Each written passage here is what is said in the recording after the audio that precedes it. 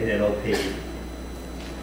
So what we're going to want to do is say we're going to want to build a model that gives a score to a sequence of words and we'll also give it a score to our corrupted sequence of words. And what we're going to ask is if the score for the good sequence is bigger.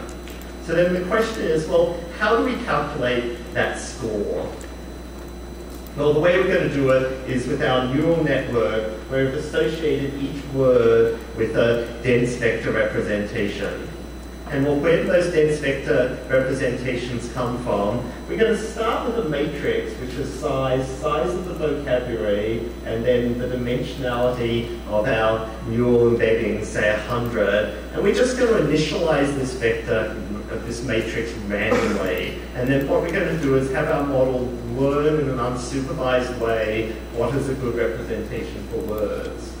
So this matrix is often called the lookup table because you can think of it that if you start off with a one hot vector, you can then pre-multiply the one hot vector by this matrix and you'll get out the representation for each word, where that's just a complex way of saying that you're selecting the right column of this matrix.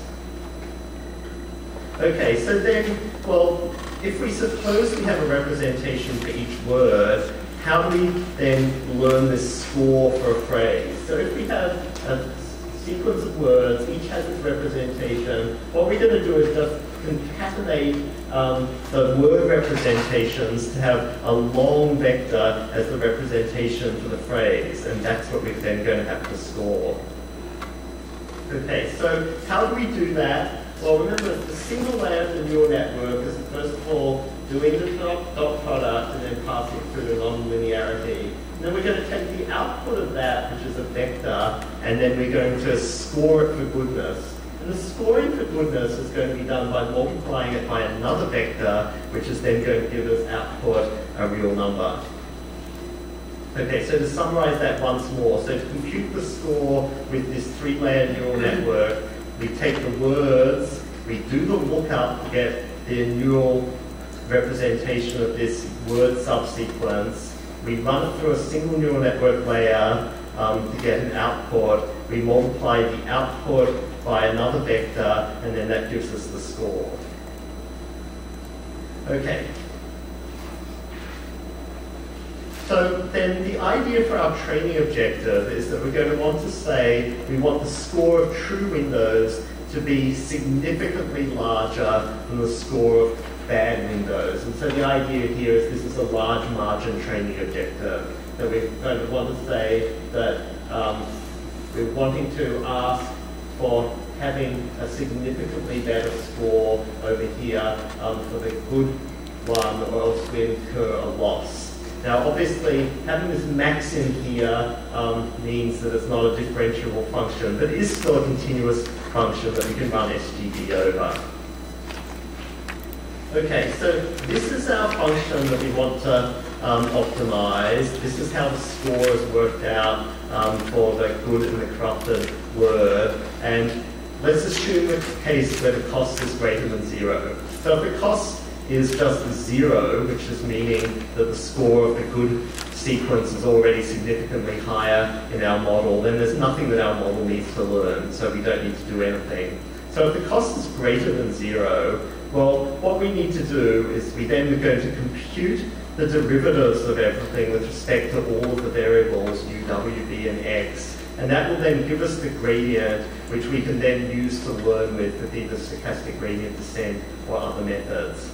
So concretely, how does one do that? Well, if we look at the derivative of the score, because this whole thing is just um, the sum of two scores, well, if we take the derivative of one score with respect to our u vector, or variables in our u vector, which is the ultimate scoring vector, um, that's super simple um, derivative. So the, the, derivative with respect to a u variable is just going to be a. What is the um, current output, what is the current output of our model. So that's very easy to calculate. Let's go on and look at the other derivatives. So suppose we want to calculate the derivative of a particular weight, an element bound weight matrix in the neural network. So for example, this weight 2, 3. Well, the first thing to notice is that that weight 2, 3 only feeds into being multiplied by U2 in the final part of computing the score. Okay, so therefore, we take the derivative of the score with respect um, to W, we can kind of just head down that path for an individual W. So let's look at the steps of that. Um, so the derivative of the score is the derivative of UTA. Um, so for the derivative of weight ij, that's just the derivative of ui ai, because that's the only place where weight ij is going to appear.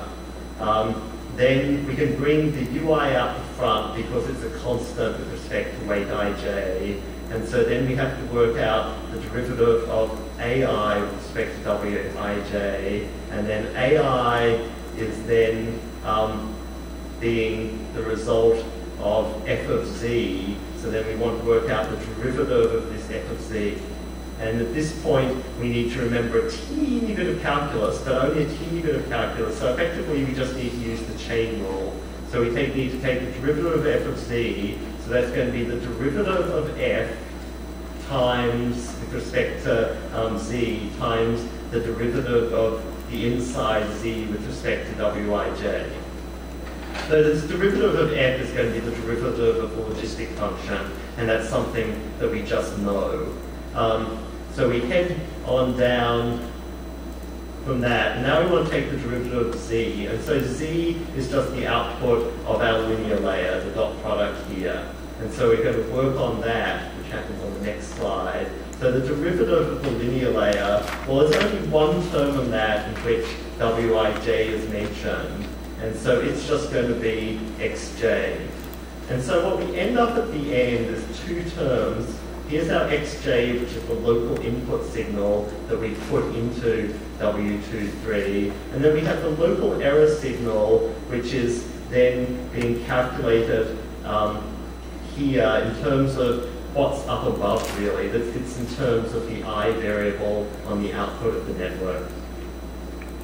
Okay, so that's the derivative with respect to just a single weight. If we want to work out the derivatives with respect to all of the W variables, i.e. the whole weight matrix, we just do the same thing again and again, and every one of them is, is of the same form, delta i times xj. And so we want to work out all combinations of that. And so that's effectively then equivalent to working out this outer product, where we're taking the outer product of um, the delta i vector and the xj vector. So we're making a matrix that has the respective terms of those all multiplied together. And so that's then giving us this responsibilities of each term and the local activations. Um, for the bias variables, it's essentially the same story. If you think of the bias variable as being equivalent to having an always on plus one unit, you get exactly what you'd expect because x is always 1, and so its derivative is just the same delta i quantity. Okay, um, so that's almost all that happens um, for backpropagation. It's simply going through, working out the derivatives using the chain rule. There's one final trick um, to producing um, efficient um, backpropagation algorithms, and that's the, the idea of just reusing partial computation that we're all familiar with. Um, so that what we do is we can reuse quantities calculated for derivatives of higher layers and use them again in lower layers. And so an example of that is for working out the derivatives of the word vectors. Um, so the really interesting part of these models is as well as changing the W weights, we can also backpropagate our errors into the word representations, and so we'll also update the word representations. And that's precisely how we're then learning these unsupervised word representations that will be so useful. So if you work out um, the derivative of our score with respect um, to the word representation. I think I'll leave out going through the details of the math because Yoshua is going to talk about the principles of it immediately after me. Um, but if we just skip down to the bottom, what you see is that you actually end up with this exactly the same delta term where you've got the ui times the derivative of f times on calculated on the linear term. So this same quantity is used exactly the same again, and so you can make use of it multiple times. Okay, um, so that's the idea of how you train these word vectors. Let me just close by saying, well, what is the big advantage of these learned word vectors compared to other ways of coming up with vector space representations of words? And it is the fact that we can embed, we can build bigger deep learning models which at the top have some supervisory information. And we can use that label information to propagate down into our word representations useful supervisory information for a task. And so remember, right at the beginning, we started off with our maxent model, which was our supervised learning predicting classes. Well, what we can do is we can stick precisely that model as a soft, as a softmax layer on top of our neural network. So now we've got our word representations going to a hidden layer and then projecting to a softmax layer onto our classification decision. And so then we'll be able to use any supervisory data available to us to project down onto improved word representations for that task. And that gives us an enormous ability to have the, the benefits of using supervision as well as using unsupervised learning. Okay, I'm officially done.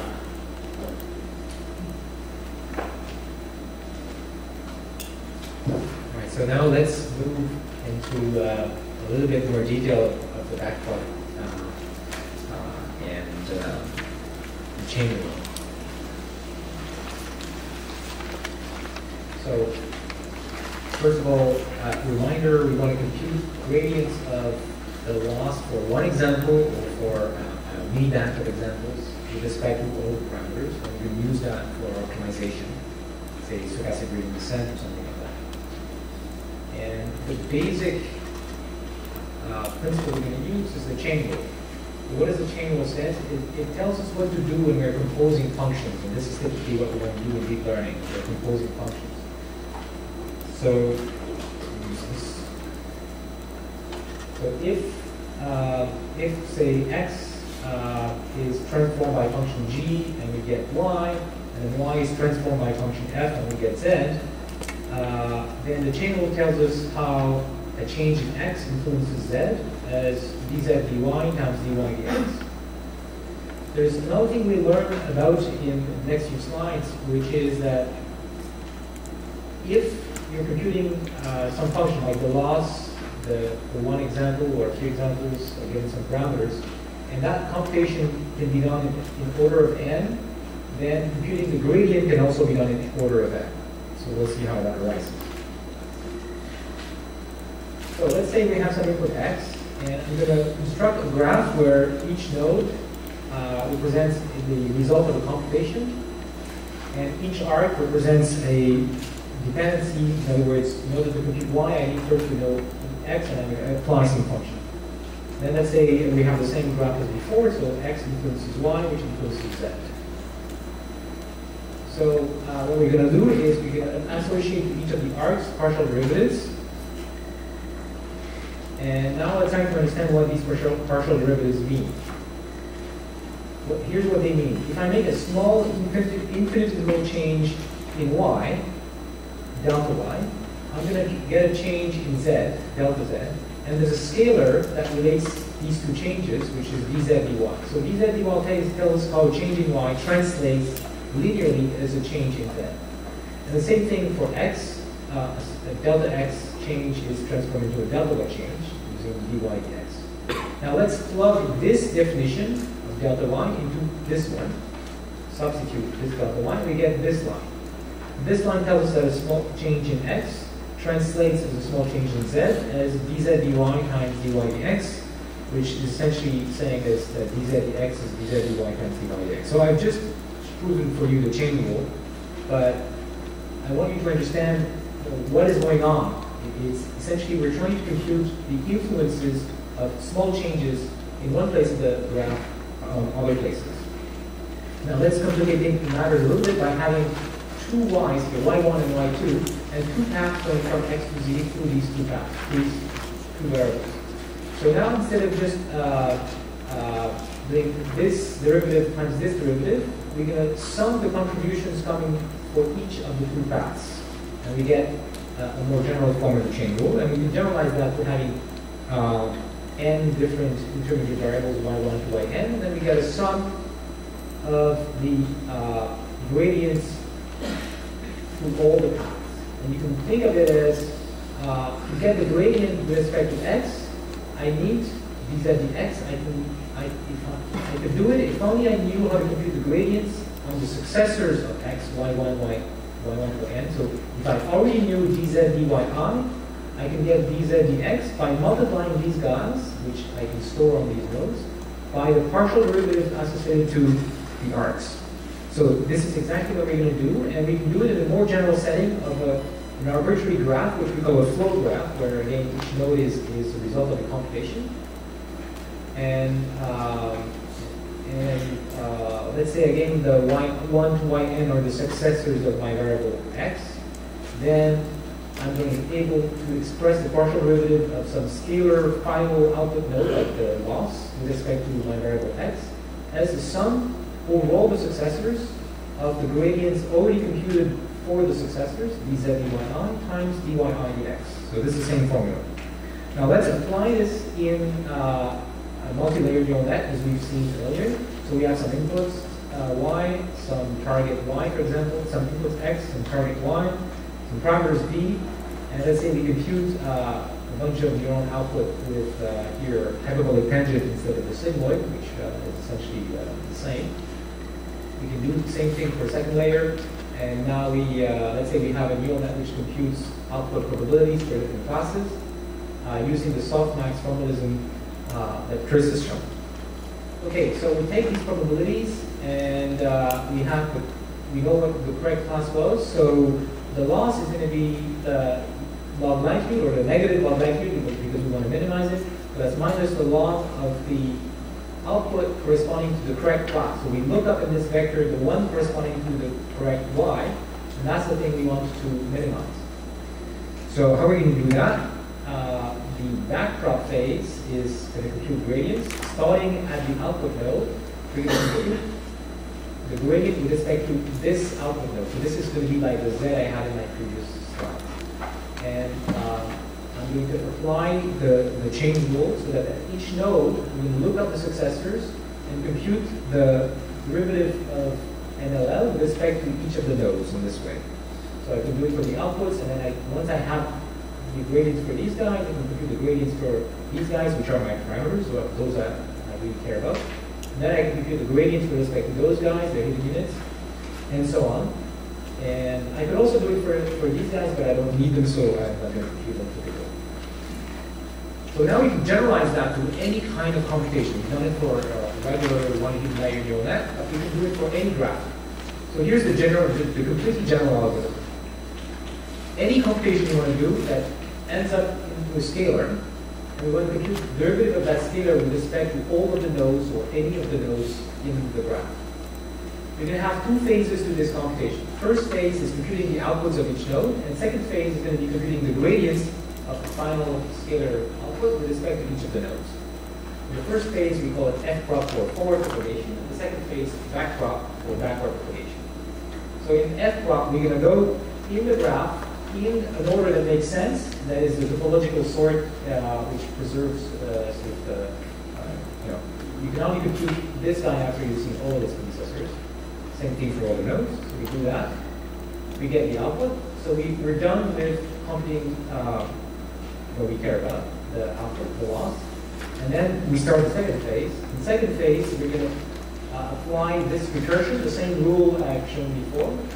Uh, but we have to initialize recursion. So the way we can initialize is we said dz dz be 1, which is of course always true.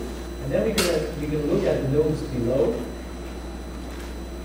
and we're going to compute uh, using the same recursion. Now, of course, for these nodes, probably going to be only one successor, so this is going to be a very simple one.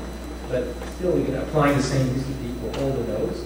Going down in reverse order, uh, compared to the order we, we uh, used first phase. And that's it. So you can compute gradients for any, uh, any graph, any, any computation. And you can see by this process that uh, the computation I'm doing for computing the gradients are just kind of a kind of transpose of what I've done for computing the loss, which is a way of proving that if I, if I had order of n computation to compute the loss, then I get order of n computation to compute uh, the gradients. In fact, you can make that uh, computation of the gradients completely automatic using automatic differentiation, and there are a number of, of tools out there that can do that. I'll mention at the end uh, a library that we've written called Theano. Um, and in fact, so you can use uh, code that will take a, a, symbolic representation of your computation, like basically a program or an expression, a symbolic expression that does the computation if you to run numbers into it. You can take that and compute another graph which uh, which would compute the gradients. And that's very useful for debugging and, and prototyping and, and, and avoiding uh, problems in uh, manual errors of computing the derivatives. All right, so let's um, look at an application of this uh, in the models that Porter and Weston and, and, their collaborators later have used for particular part speech uh, tagging and, and name entity